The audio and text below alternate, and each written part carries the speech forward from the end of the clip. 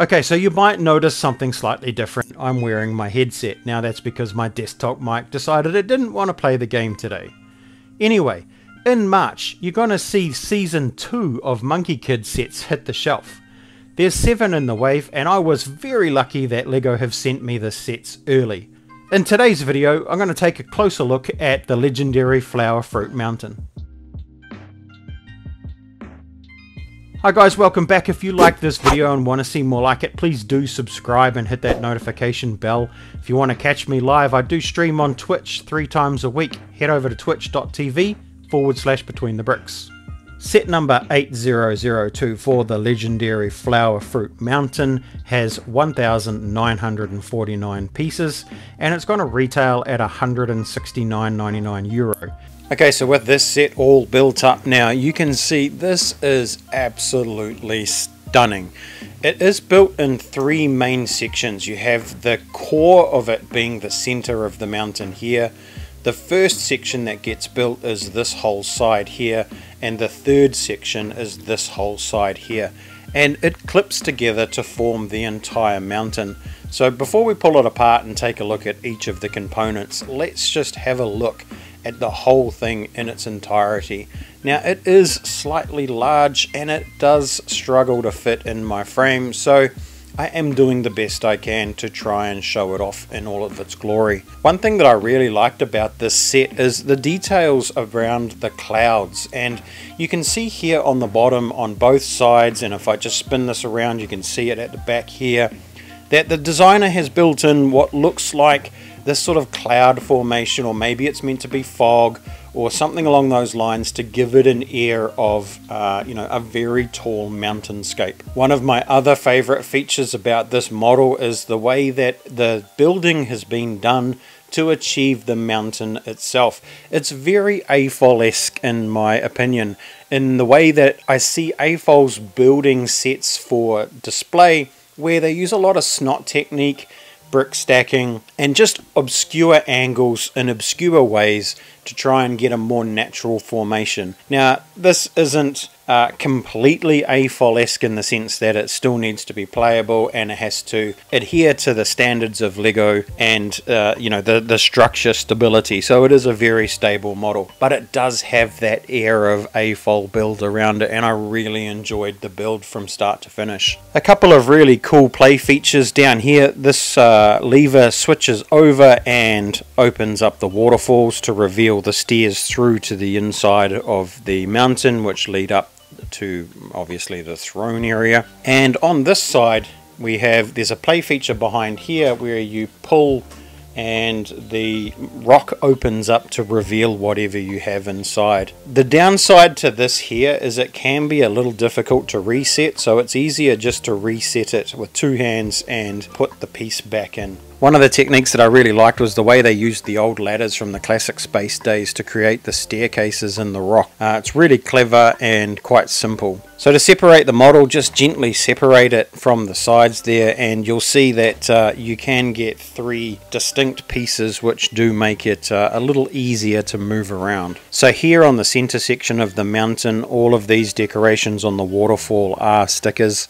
All of the decorations on the rocks are also stickers. These gold 1x4 tiles uh, have stickers on them as well. However, these 1x1 uh, hearts with the little tree on them are in fact printed. I really do like these cloud flowers, they look really cool. And if we just spin it around and have a look in the back here, you can see there is just a little bit of decoration hiding up in here. They've done really well with the foliage and the flowers and the trees. And I really love the staircase in sand green, which I think may be a new color for these stairway elements, which could be pretty useful in some castle MOCs. Another really cool element in the center section is the crane up here. So um, this is all brick built, this bird, and we'll take a bit of a closer look at that later on. So this is the left side of the mountain, and as you can see, there's a little bit of a water feature down here, a raft that's tethered to the side of the rock there. You get a little play function in this axe that's chopping wood and uh, really nice swing bridge from the center section of the mountain over to the left side here. Up the top here you can see the Monkey King's throne obviously sitting beneath the tree there. These signs here are all stickers and if we spin it around to the back you'll see there's another waterfall down inside there and another play feature which rotates this 2x2 uh, round brick here. One of my favorite parts of the entire set is this little piece here.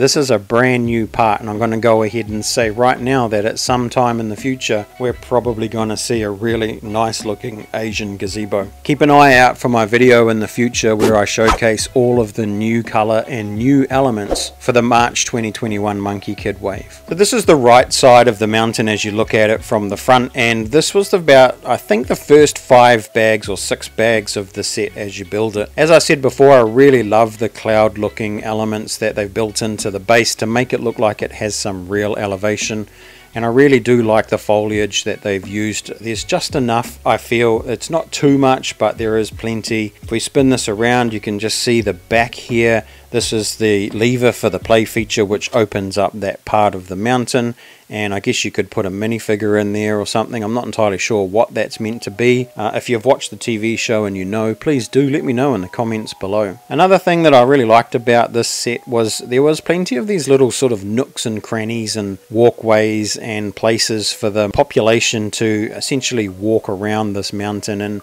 it looks like that it's inhabited and a place where they live. The first two figures we're going to take a look at are the Battle Monkey King there on the left and the Evil macaque on the right. So if we spin them around, you'll be able to see them in their entirety. And you'll notice that both of these guys do have some uh, cloth capes. And both of them have very similar staffs, uh, just in slightly different colors. They both have the same hairpiece, and uh, as you can see there, they're in different colors and the Battle Monkey King also has that plume coming out the top of his hair. So with their accessories and hair pieces removed you can see the prints on the torsos and the legs. Uh, there is a lot of detail in all of the prints and all of these figures and you'll notice that they both do have uh, dual faces. Now I've left the tails on both of these guys because they don't really obscure the view but one thing you'll notice is that the tails do come out of the body at the back uh, at a 90 degree angle as opposed to straight backwards which is a, a, little bit nicer for posing these figures because they do tend to take up a little less room. So the next two figures are the Apprentice Monkey King there on the left and the Monkey King on the right. As you can see the Apprentice Monkey King does come with an oar uh, I think he's the one that's meant to be paddling the raft uh, that was down on the side of the mountain there. And the Monkey King has a bit of fruit uh, from the mountain. So with their hair and accessories removed, you can now see the prints on their torsos and legs.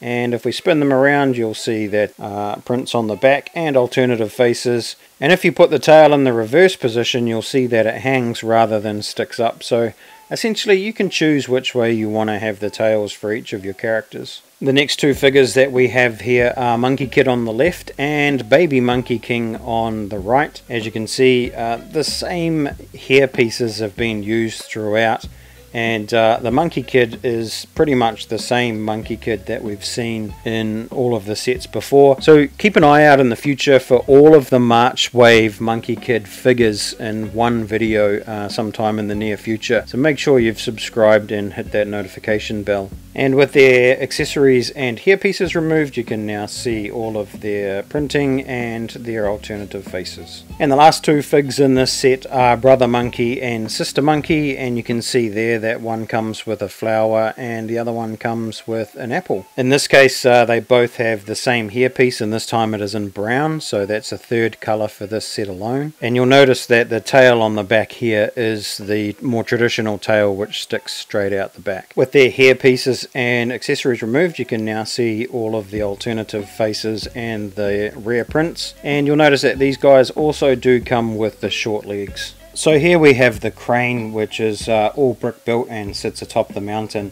Uh, I actually really think that this is quite a clever wee build and it represents the bird quite nicely. I particularly like the use of those new minifig jumper pieces there in light blue grey and you can pose the wings in a bunch of different ways to make it look like it's flying or that it's sitting and resting and stuff. we take a look at the spare parts now, there is a, a, decent amount of them, so if you do want to check them all out, make sure you pause the video now. Okay, so in conclusion, the set took me around 5 hours, 5 hours 30 to build from memory.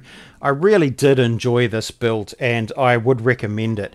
I would probably give this a solid 8 to 9 out of 10. There's just so many nice little techniques that have gone into this build and the detail is really next level for essentially what is a playset. It displays nicely, it sits on the shelf nicely and um, there's enough depth and height to it. Please let me know what you think about it in the comments below, I'd really love to hear your thoughts. But in the meantime, please keep safe, keep building, and I'll catch you on the next one.